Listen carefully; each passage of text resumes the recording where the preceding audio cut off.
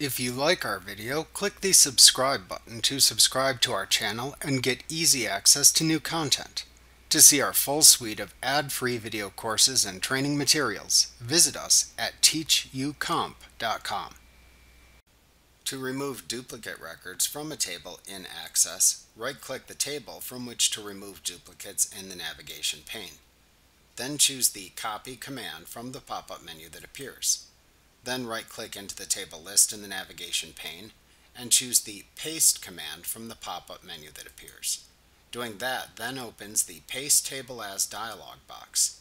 In this dialog box, type a name for the copy of the table you are about to create and select the Structure Only option button in the Paste Options section of the dialog box.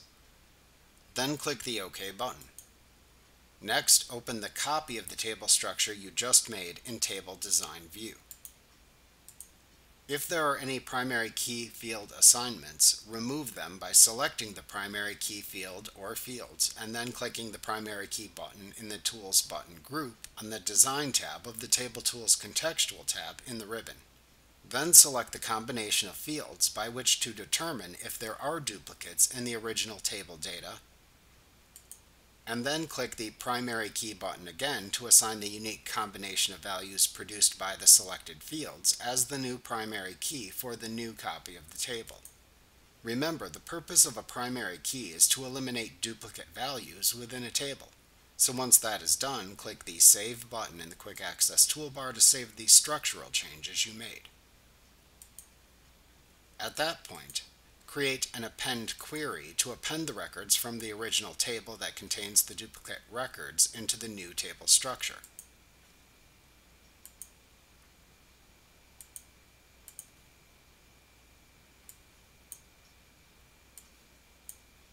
When you run the append query, any records that contain duplicate values in the primary key field or duplicate combined values in a multi-field primary key will not be appended into the copy of the table.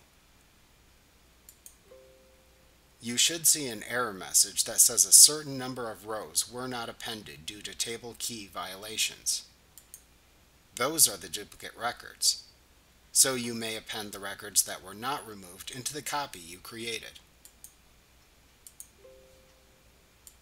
At that point, the copy of the original table should contain the duplicate-free records.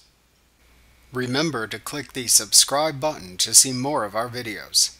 Get ad-free courses at teachucomp.com.